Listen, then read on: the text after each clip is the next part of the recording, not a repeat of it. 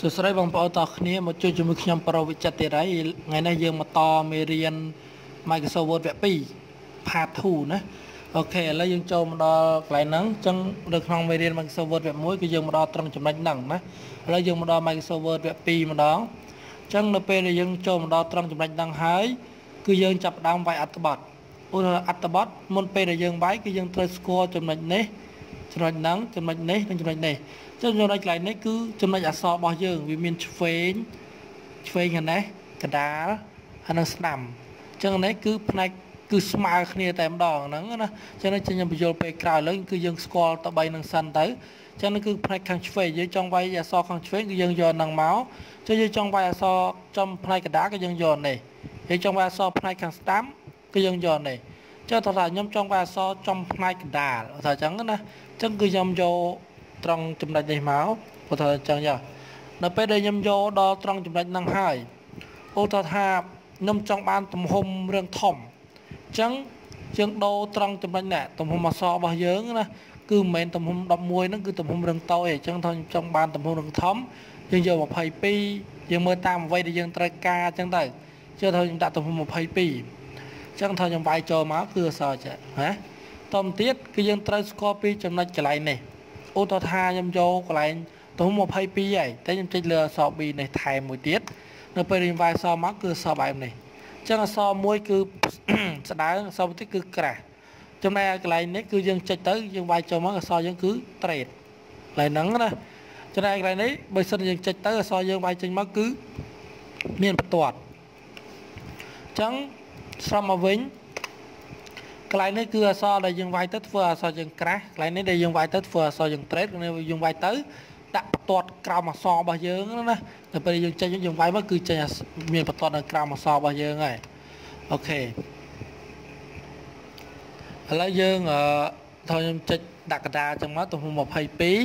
ហើយកន្លែងនេះខ្ញុំយកអក្សរ B ថាចឹងចាហើយខ្ញុំវាយអក្សរចូលថាចឹង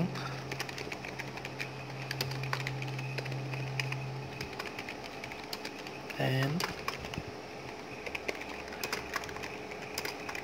អូខេឥឡូវខ្ញុំវាយខ្ញុំវាយចប់មួយហើយ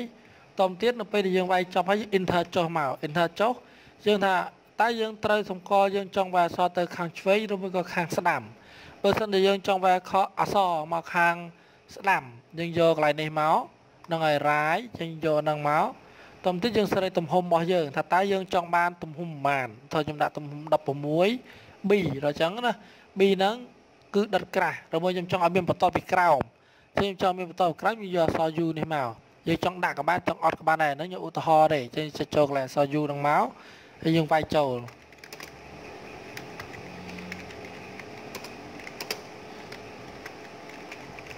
អូខេបង student writing តទៀតយើង enter ចុះមួយទៀតមកយើងយើង enter កន្លែងហ្នឹង enter ចូលទៅហើយ យើងចង់ដាក់អក្សរយើងតើទៅផ្នែកខាងណាបើសិនយើងចង់ដាក់អក្សរយើងទៅផ្នែកខាងឆ្វេងយើងយកនេះមកណានេះខាងឆ្វេងអញ្ចឹងយកហ្នឹងមកចឹងកន្លែងនេះដូចមុនចឹងថាតើយើងចង់ដាក់អក្សរហ្នឹងដិតក្រាស់អត់ហើយទំហំយើងចង់ដាក់ប្រមាណយើងចង់បន្ថយទំហំដាក់14យើងយក14មកយើងចង់ដាក់ប្រមាណក៏បានដែរតមទៀតកន្លែងនេះគឺយើងជ្រើសរើសថាខ្ញុំដាក់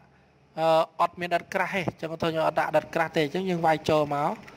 ហ្នឹងហើយថាខ្ញុំវាយចូលយ៉ាងមកហ្នឹងហើយតមទៀត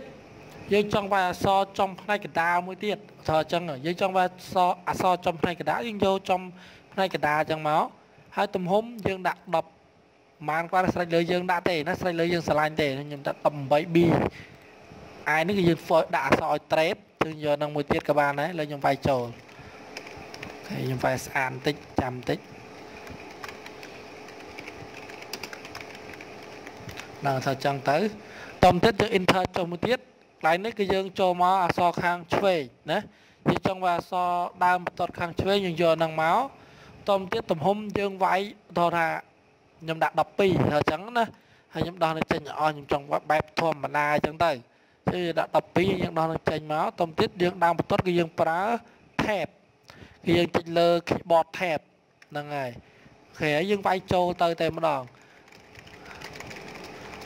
អូខេអញ្ចឹងវីដេអូវគ្គ2គឺមានតែប៉ុណ្្នឹងទេ គឺយើងយល់ដឹង ទៅលើទំហំទៅលើអក្សរដែលយើងវាយខាងឆ្វេងកណ្ដាលឬមួយខាងស្ដាំហើយនឹងទៅលើចំណុចផ្នែកមួយដុំនេះគឺអក្សរដុតក្រាស់អក្សរ trade ហើយនឹងបន្ទាត់ហ្នឹងហើយអញ្ចឹងយើងចាំទៅជួបគ្នានៅវីដេអូបន្តទៀតនៅវីដេអូ part 3បាទអរគុណច្រើនជម្រាបលាសម្រាប់ការទស្សនាកុំភ្លេចជួយចុច like ចុច subscribe នៅខាងក្រោមផង ផងបាទអរគុណច្រើនជម្រាបលាបាទ